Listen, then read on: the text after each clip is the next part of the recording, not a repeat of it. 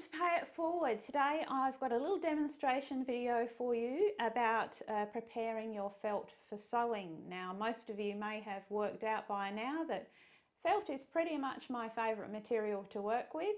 It does need a little help along the way though. If you prepare your felt for sewing you're going to find that your, end results are way cleaner and crisper and also it makes the sewing process a whole lot easier. Um, so I'm going to show you some tips and techniques and of course it's going to be suitable for all of my patterns. Also if you'd like to see some more of my behind the scenes work and, and uh, some of my other artwork because I'm also an illustrator, you can follow me on Instagram um, and have a look and, and see all of the other things that I like to do. But for now, let's get busy preparing our felt. So first of all today, let's talk about the different types of felt. Now you can purchase your felt online, you can, you can buy it from your local craft store. It's certainly a re very readily available uh, fabric to, to purchase and work with and you'll find that it comes in several different ways. Now this is your regular craft felt. Now this is a wool viscose blend.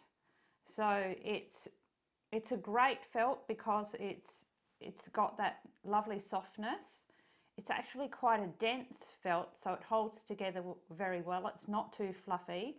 Um, the, the one that I have actually tends to be quite fine, so it's only about a millimetre thick, but I find this wool viscose felt is fantastic for using in applique, so for cutting out your little shapes and appliquing on to your projects this one works really well. And of course, I mean, look at the colors. That's just incredible. Then you have a washable acrylic felt, and you probably find this one most readily available in all of your, your local craft outlets. Now this one is a little bit thicker, so it's, it's probably almost two millimeters, and it's just washable acrylic.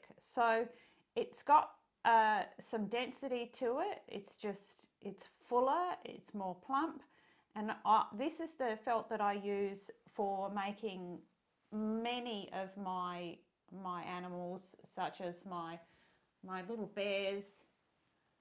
They're all made of this this type of felt um, which I have treated and I'm going to show you how to do that. So the acrylic felt that you can purchase very easily locally or online that one has been really useful to me. And then of course you have the ultimate, which is pure wool felt. Now, pure wool, felt, it, it comes in, in quite a few different sort of types. Um, it depends on your manufacturer or, or, or your maker of your felt. This one that I get is, it's a lovely full-bodied felt and even though it's pure wool felt, it's not too soft. The only thing I find with pure wool felt is that they can be so soft that they don't hold themselves very well and they can be a bit tricky to cut out. So I, like to get a nice fine edge when I'm cutting my felt pieces, um, but this one is particularly good. My pure wool felt I use very, very moderately. It's not, I don't use pure wool, wool felt for making even my um, my one-of-a-kind creations, um, just because, believe it or not, the acrylic felt is better suited.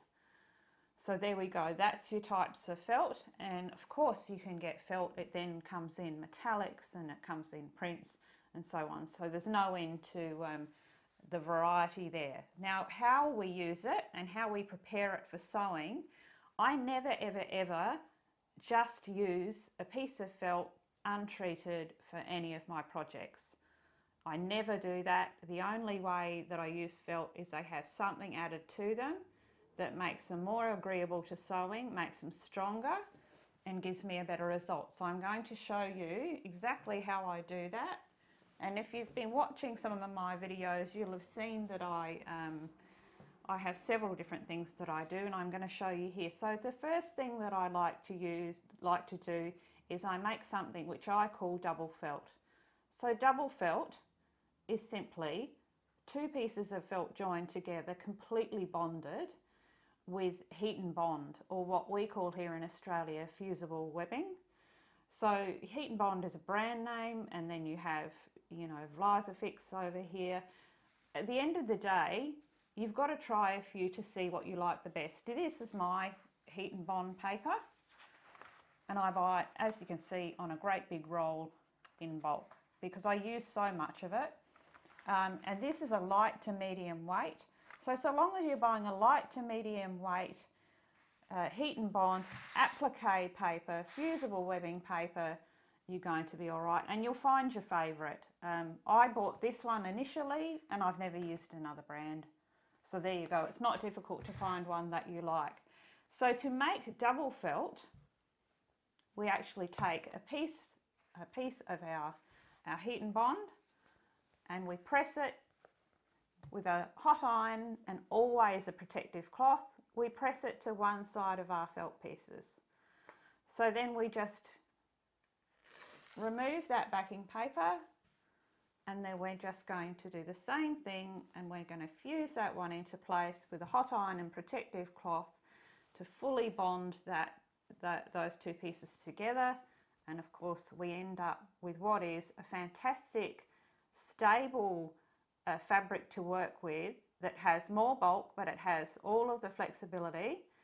Because it's got that that sort of midsection there of that bonding glue that's in there which is now set it's a very clean edge. It's a great edge which means we can leave it raw. Um, you can cut out shapes out of this one and leave the edges just raw and they will stay nice and neat and clean. So where would I use it? Well, I use my double felt in so many ways. Here on this little bear here, this is a little wool felt bear um, with an acrylic felt head and that little collar there is made out of double felt. And you can see the best thing about double felt is of course you can use two different colours. And all I've done there is I've been able to treat the edges with a blanket stitch. So you don't have to sew two pieces together, turn it through and then do it. You can just use your double felt as a single piece of fabric. And you can see that it's got such fantastic hold, great properties because you can curl it, you can mold it. It's just fabulous. I would be absolutely uh, lost in my work if I, if I didn't use double felt. Here again, how I've used it here on this, on this little banana. Rather than sewing pieces together, we're using a single piece and we're able to just treat those edges with a little bit of, uh, you know, a few stitches and you've got this lovely, stable little piece of fabric. So that is double felt. You'll see me use that a lot in my patterns. So the next one that we do is I do something which you often see me refer to as felt fabric. Now felt fabric is very similar so what it is is a piece of fabric bonded in the same way to a piece of felt and that gives us again it's a very very stable workable uh, fabric to use for it's great for bags it's great for um, again, for if you're going to be making something like, for example, where would I use uh, felt fabric? In the case of these little um, phone cases here, I've just bonded the, the red to the stripy fabric there, and then you've got this fabulous fabric that you just have to fold up. No seams are necessary. You can leave them there just with a top stitch and you really don't, because there's glue involved there, that you don't have a lot of fraying. Certainly not for a project like this, and you can see that you know there's no limit to sort of the colours that you can make up and, and the combinations there that you can use with your felt mixed with your fabric. So it's the same process. You apply your heat and bond to your fabric, then we just remove that backing paper and then again with your hot iron and your protective cloth you press that one into place and then of course you can use that one you can cut any shapes out of that I tend to treat my fabrics first large enough to accommodate all my pattern pieces and then I trace my pattern pieces out of that piece of fabric. So that is felt fabric. So when I refer to that in my patterns you'll know what I'm talking about. Now the other way, the most common way that I treat my felt is that I just simply interface it. Though I don't interface my felt with a, what would I call it, a man-made fibre uh, interfacing, the ones that are sort of formed. Um, what I use for felt, because felt is such a breathing, movable, flexible um, fabric, I use a woven fusible interfacing. So you can see that that's a woven interfacing and it's got the little glue on the other side. And it's just a matter of using the same technique, hot iron, always a protective cloth because if you're using acrylic felt you don't want too much heat directly on that felt, it'll just, it'll just burn. So hot iron protective cloth and we just press that one on just as I have here and you get that again. You've got a beautiful stable it's not unlike the felt fabric. Um, beautiful stable fabric cut your shapes out of there. You've got a good clean edge and it just gives that felt some stability. But because it's a woven fabric it still has all that movement and flexibility. So your seams will stay nice and rounded. So I use this uh, technique. I interface my felt for all of my work in my bears, my animals, where I'm fully constructing little heads, arms, legs, and so on. So that's the one probably that I use the most and find that to be the most useful. And the other thing that we do, that I do with my felt, when I said that I never ever use felt just as it is, when I'm cutting out little shapes, for example, like on this little cupcake here, all of those little pieces, they all have been cut from a piece of felt that has our fusible webbing heat and bond applied to the back. Not using it to apply it to anything, which certainly you can.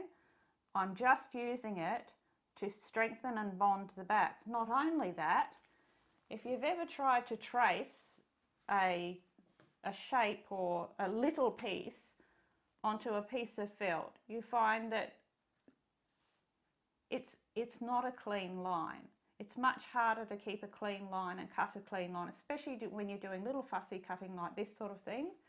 But if you have that same shape and you have that paper backing on the back, of course you've got a lovely clean line and your scissors can cut that one out absolutely sharp and pristine. Not only that, once you peel that little backing paper off, that little piece will stay crisp. Those edges will stay crisp for, for the life of the project. So that's why I use that. And of course, we do use just the heat and bond on the back of the felt to cut out a shape and to actually apply it to a, a project, which is its usual use. That's usually what heat and bond is for. It doesn't matter, it doesn't mean that we can't break the rule sometimes.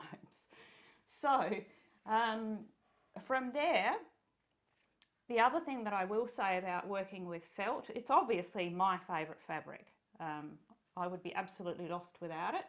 Um, the key thing that I'll say with working for, with felt and, and preparing your felt in these ways, any time that you apply a, whether it's a heat and bond paper, an interfacing or joining two together as we do, we're going to join those two, once we press those together and we've got our hot iron and we've got our protective cloth, it's so very important that you let that piece cool before you move it. So when you heat up any of these um, products, of course, the idea is the glue, the glue that's on the back of uh, this, this little heat and bond that glue is going to melt, it's going to get warm and it's going to get very soft and that's what makes it stick to our project.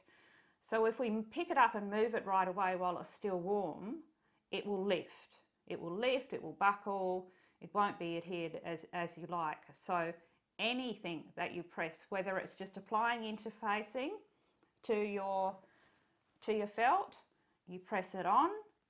I even leave my cloth on it and I just let it cool on the ironing board and it's only for about one minute.